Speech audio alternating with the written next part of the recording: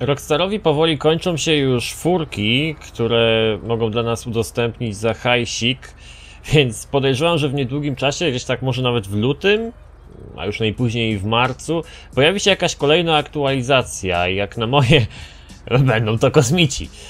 Pojawił się Grotti GT500, nie robiłem jeszcze tuningu tych samochodów, nawet nie sprawdzam jakie mają opcje. Z tego co słyszałem, Grotti ma chyba... ym, y, chyba, chyba, chyba można mu karabiny jakieś zamontować, a może nie. Tu jest coś napisane o tym. Nie, ale y, wygląda okropnie, nie podoba mi się, straszny jest. Tutaj mamy Ubermachta Revolter. Yy, W Avengerze można go stuningować jakoś tam dodatkowo. Kosztuje milion sześćset tysięcy. Za milion sześćset tysięcy możesz kupić sobie całkiem spoko magazyn pojazdów, na który ja właśnie sobie zbieram teraz. Już niewiele mi brakuje swoją drogą. Będę mógł sobie kupić i zbierać pojazdy, samochody, dostarczać je i sprzedawać oczywiście. No i mamy jeszcze tego ziomka, to jest Neon. Jest on bardzo, bardzo szybki ponoć. Nie no, jest szybki trochę, no. Jakiś tam fant... ale to nie jest warte pół miliona, kurde, ludzie, no. Znaczy, jak ktoś lubi bardzo, bardzo samochody, jak ja, to pewnie może sobie kupić, no, wiecie, no każdy, tak, ale każdy kupuje co mu się podoba, ale tak jeśli chodzi o użyteczność w GTA, no to sami wiecie jak to jest z tymi samochodami. Ja się nadaje głównie i chyba tylko wyłącznie na zloty, bo ja sobie kupiłem taki motorek, ile on kosztował ten, co ja tutaj mam, Buddy RR, kosztował sobie 4000, oczywiście przy spotkaniu z jakąś rakietą albo, nie wiem, ktoś zacznie do nas strzelać, no to zginę od razu, no nie? Samochód zawsze daje na- nam jakoś tam osłonę, ale w gruncie rzeczy przemieszczamy się w bardzo podobny sposób, jak się już nauczymy jeździć tym motocyklem, więc y, no, tutaj nie ma jakby ogromnej potrzeby kupowania tych najnowszych, najszybszych samochodów, chociaż zawsze jest to... Ojej, opresor lata, zaraz mnie pewnie rozwali. Już pewnie rakieta we mnie leci.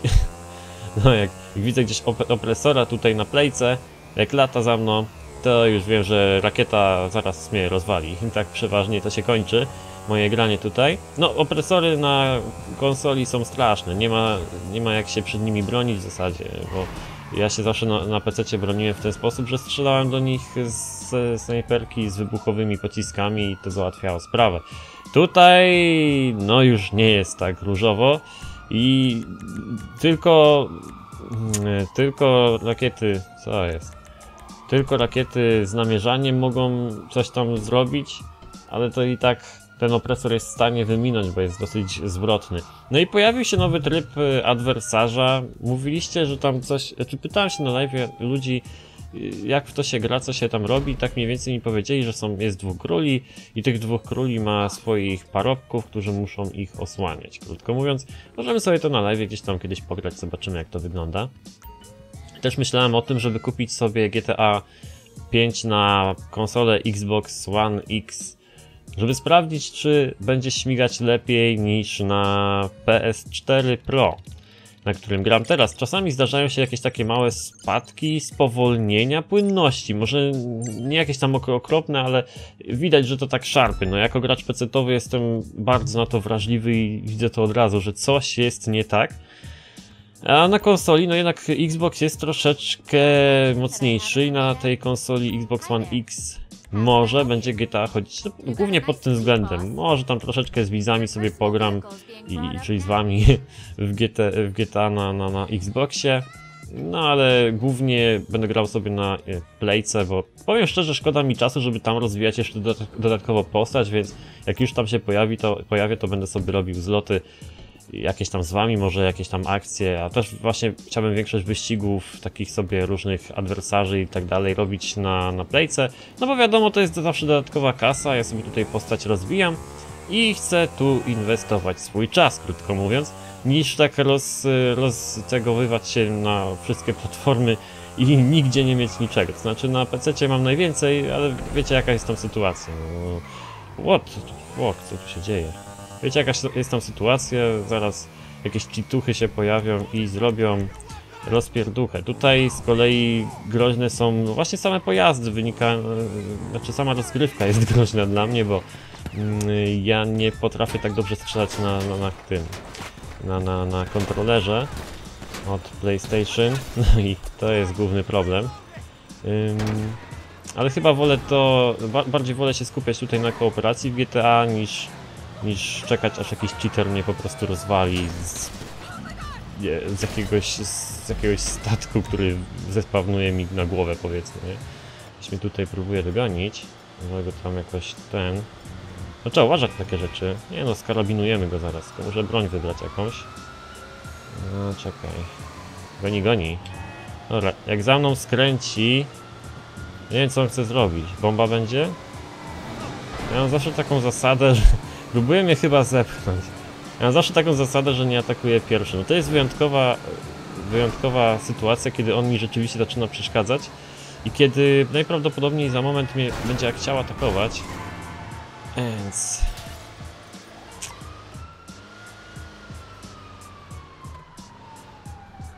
No świetnie, czemu... Fajnie, że mogę strzelać.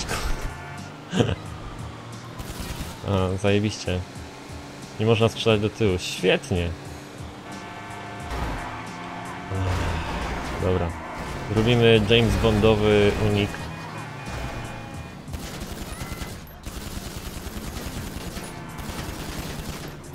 Jakiś świeży gracz jest. Już by dawno do mnie strzelał, gdyby był prosem albo coś takiego. Robi uniki. Co, sytuacja się odwróciła, boy! Jedziemy. Będziemy go tutaj cisnąć. cisnąć. No, więc ja się tam GTA głównie skupiam na kooperacji. Jak ktoś mnie zaczyna atakować, to ja się poddaję, nie mam szans. I, i tyle. Bardzo lubię sobie robić e, te takie dostawy paczek. Staram się jakoś bronić przed tymi graczami, ale jestem świadomy tego, że to nie jest. że To nie, nie pójdzie mi dobrze, to się zawsze skończy moją śmiercią przeważnie. No, I tak, i tak sobie tutaj gram, więc y, na, na konsoli to głównie tak kooperacyjnie sobie, sobie, sobie działam w GTA.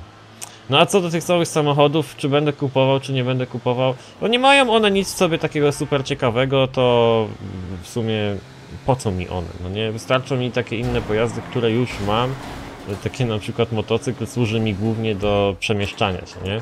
No dobrze, ja sprawdzę sobie ile tutaj mam już zgromadzonego hajsu. Może uda się coś sprzedać i wtedy bym kupił sobie magazyn z samochodami, bo chyba najtańszy... no nice. To co, lecimy z całym? Ładunkiem pół miliona. Dobra, zaryzykuję. Pół miliona spróbuję sprzedać. I jak sprzedam pół miliona, dostanę jeszcze więcej. Jakieś 600 tysięcy mogę nawet dostać. Ale chodzi o to, że będę mógł sobie od razu kupić y, magazyn na samochody, nie? To, to, to, to. Tak?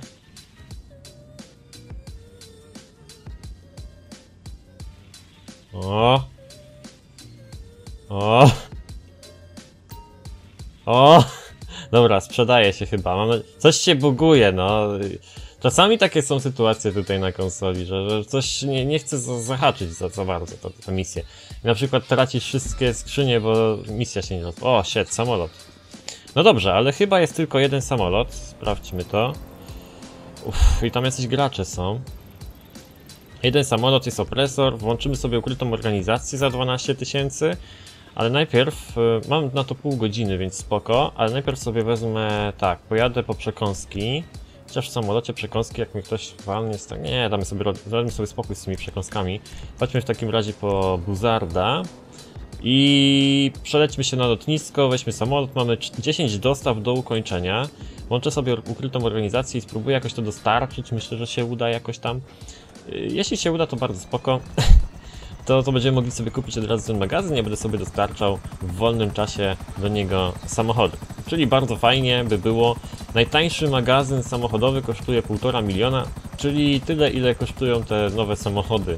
Ten, ten Neon mówię i ten, ten, ten najnowszy chyba kosztuje właśnie 1,5 miliona i ten, ten poprzedni taki co może chyba Revolter, tak? On, on kosztuje chyba 1 600 tysięcy, jak sobie sprawdzaliśmy. No, za to możemy sobie kupić magazyn, moim zdaniem dużo fajniejszy wydatek, no bo na dłuższą metę dostarczy nam więcej frajdy z gry. A taki samochód to nam się szybko znudzi i potem go odstawimy i będzie stał w tym garażu obok dziesiątek innych samochodów. Swoją drogą kiedyś bardzo marzyłem o tym, aby właśnie mieć większe garaże, powiedzmy na 20 samochodów czy coś. Rockstar dał nam możliwość właściwie nieograniczonego kompletowania tych samochodów. Znaczy tam ileś tych miejsc jest, ale jak mamy już powyżej 60 miejsc na samochody możli- posiadania na własność, tak? No to moim zdaniem jest to już nieograniczona ilość. Z tego względu, że no i tak ja jeżdżę tylko cały czas tym Batim teraz, tak? Może za miesiąc kupię sobie jakiś inny samochód albo motocykl. Nie wiem, no nie zamierzam wydawać na to jakoś dużo hajsu, bo bardzo szybkie samochody, czy tam dosyć szybkie samochody można kupić sobie stosunkowo taniej niż te najnowsze, kurde, koksy. Więc na luzie, nie? Ukrytą sobie włączymy na parę minut, na 3 minutki. Nie uda nam się tego dostarczyć na pewno, ale chociaż te najbardziej ryzykowne punkty gdzieś tutaj w mieście może się uda dostarczyć. Sprawdźmy, gdzie my tutaj mamy. Uuu, o, o, nie jest źle w sumie, bo mamy tylko jeden taki ryzykowny punkt tutaj w mieście i będziemy latać dookoła mapy, y, tak, żeby dostarczyć wszystko, a tam raczej nie będzie za wiele graczy, tak?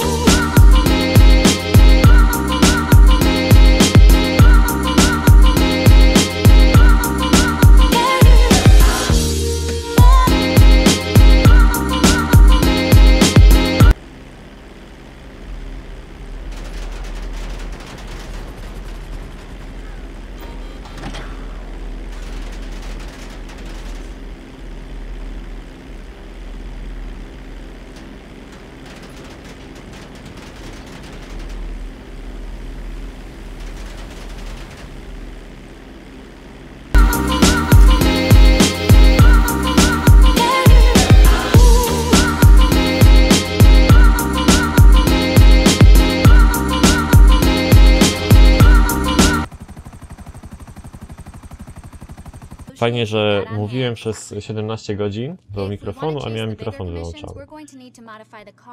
Świetnie. Tutaj możemy mieć te, te pojazdy typu Voltik rakietowy, pływający kład i tak dalej. Nie wiem, czy, nie wiem, czy któryś z nich będę kupował. Na pewno nie. Chociaż kład pływający jest całkiem spoko, ale nudzi się też bardzo szybko, więc na pewno, na pewno nie będę żadnych z tych pojazdów kupował, zwłaszcza, że, że są bardzo drogie. Nie wiem właśnie, czy ten pierwszy fragment filmu zaraz po sprzedaniu skrzyń nie puścić wam i nie będziecie sobie czytać z ruchu war, czy coś tam, bo była kam... A, szkoda gada. No nic, ale mam magazyn, jest sobie tu, będę sobie gromadził tutaj pojazdy, samochody. Mówiliście, że jest to bardzo, bardzo opłacalny biznes, więc... Więc... Czemu nie? A mi się kasa przyda. W sumie jestem zaskoczony, że udało się sprzedać to bez żadnego problemu praktycznie. Miałem tam tylko problem z tymi... Mm, z Valkyrią, która mnie atakowała z minigunów. I z... No i z buzardami, które, które były przy każdym praktycznie punkcie. Przed dwoma ostatnimi celami samolot zaczął już powoli dymić i myślałem, że nie dolecę, ale okazało się, że podleciałem do tego celu y, na prawie szczycie góry, tam chyba w, ty, w tym, tej kolonii tam tych, takich popaprańców. Tam zrzuciłem ładunek, no i ten. No i potem już poszło gładko, bo musiałem tylko zlecieć z tej góry i zrzucić. Myślałem, że czasami jest tak, że musimy ten samolot jeszcze dostarczyć z powrotem na lotnisko czy coś. No to wtedy jest lipa, ale w tym wypadku poszło bardzo fajnie. Dostarczyłem sobie już do mojego nowego magazynu Chestera. Miałem co prawda kupić e, inny magazyn, ale no, są one w takich cenach, że wiecie. A poza tym, jakbym sobie kupił nawet ten za 600 tysięcy magazyn, to bym musiał jechać po tych różnych piaskach, po tych wertepach, nie wertepach. No i to sprawiałoby, że większe ryzyko uszkodzenia pojazdu by było, po prostu, który bym dostarczał. Ale tak, nowa rzecz, nowa działalność tutaj na, mojej, na moim koncie w GTA. Tak naprawdę w ostatnim czasie tu na Playce kupiłem sobie jeszcze wytwórnię chyba heroiny albo jakichś innych tam narkotyków w tej aktualizacji motocyklowej. Tam też sobie to sukcesywnie sprzedaję i coś tam się dzieje. Bunkra sobie... Zaraz, ja mam chyba bunkier. Nie, mam bazę, boże, bunkra tutaj nie mam tylko. No ale cały czas to się jakoś tutaj rozrasta i w sumie jestem w szoku, że nawet to tak szybko działa. Kupiłem tylko jednego szarka w momencie, kiedy była promocja na tego szarka za 66 zł dostawało się 2,5 miliona w sumie łącznie, nie? Bo tam dostawało się plus 100%, czyli 2,5 miliona dostałem. No i też udało się dzięki temu trochę tutaj moją działalność rozwinąć. A ja bardzo lubię właśnie tutaj tak kooperacyjnie sobie działać w GTA, więc, więc, więc. Więc bardzo się cieszę, że będę mógł robić sobie dostawy, a też mówiliście, że właśnie jest to mega opłacalne. No, ja tam na PC-owej wersji za bardzo się tym nie bawiłem, ale wiem, że dostarczanie pojazdów wysokiej klasy, tam wysokiej wartości, daje sporo hajsu. O, standardowo już, jak tutaj, już mam takie ruchy wyczute, że jak, yy, że jak klikam sobie te skrzynie, to od razu już wybieram jakiś magazyn i ten. Ach, ten lucek. No i dobra, mamy, namierzamy kolejny, jaki teraz będzie? Wtedy był Chester, teraz Osiris, klasa wysoka, wartość wysoka. Na razie trzeba zapełnić cały magazyn, bo tutaj te magazyny zapełniają się w ten sposób, że najpierw, może nie najpierw, po prostu się zapełniają wszystkimi klasami równomiernie, nie? Możemy mieć powiedzmy trzy samochody z klasy niskiej, trzy samochody z klasy średniej i trzy samochody z klasy wysokiej. Później jak sprzedajemy sobie na przykład klasę wysoką, teoretycznie powinny nam się pojawiać samochody z klasy wysokiej częściej, dlatego że w magazynie mamy ich mniej. Tak to mniej więcej działa, chociaż też zdarzało mi się, że na przykład miałem więcej samochodów z klasy niskiej. Nie, nie zdarzało się tak. Miałem albo średnią dodatkowo, albo właśnie wysoką. To jest ważne, no bo wtedy nie musimy sprzedawać jakoś tam bardzo dużo tych samochodów, a sprzedajemy tylko te najbardziej wartościowe i oszczędzamy trochę na czasie, no nie? A, tak, tak, tylko wam, wam mówię. Chyba znacie ten trik. Musimy udać się do Richmond. Dostarczyć kolejny, kolejny kolejny pojeździk. To był Osiris. Osirisem powinno być spoko. Problem jest w tym, że samochody wyższej klasy są lepiej chronione i przeważnie łatwiej je uszkodzić podczas ucieczki przed powiedzmy jakimiś tam botami. No i jeszcze... A, czekajcie, czekajcie. Dobra, spróbujemy porakietować trochę. Nie mogę za mocno, bo mogę w Osirisa trafić. Ale nie, chyba będzie Najsu, ty. Ja miałem mało zdrowia, czy jak? Ale te boty są całkiem dobre, trzeba przyznać. A, dobra, spróbujmy. Dlaczego on ma zasięg do mnie, a ja nie mam? Tego nie rozumiem. Nie. A. Dobra, idziemy. Już, patrzcie jak mnie mocno uszkodzili. Naprawdę te boty zajebiście mocno strzelają. Łatwo. Masakra, kurde. Też macie ten problem z botami? Że, że łatwo zabijają? Jak zwłaszcza jak komuś jest ciężko strzelać na, na kontrolerze. Ale pff, już pół zdrowia, no what? Tak jakbym z jakimś graczem cisnął teraz, nie? Raz mnie trafił, nawet nie wiadomo w co i, i już pół zdrowia nie mam. Ale beka, dobra. Nie podchodzę tam do nich. Jest za sam... O! Z pistoletu, tak, pewno. This, man!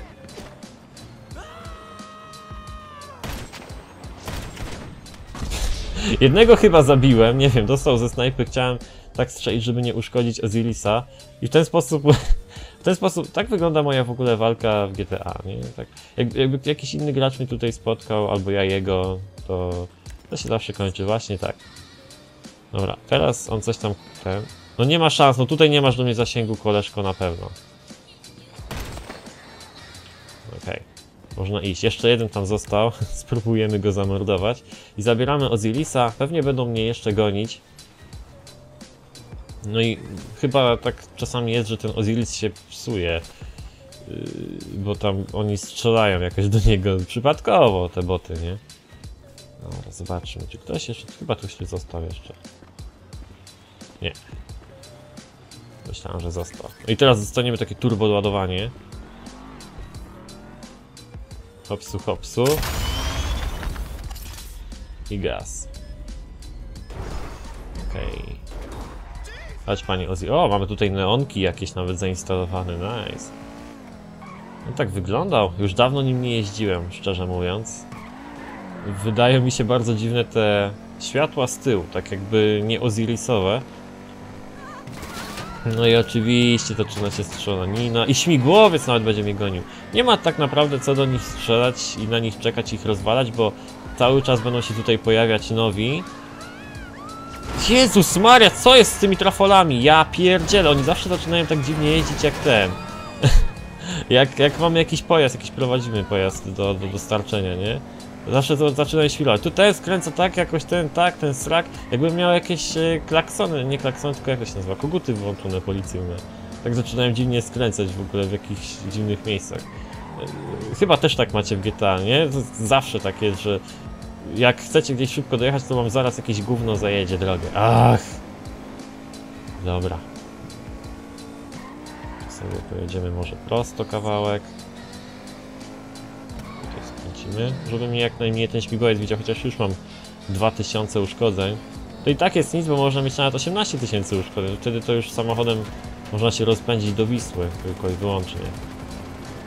A nie dostarczać go, to nie ma sensu wtedy nawet.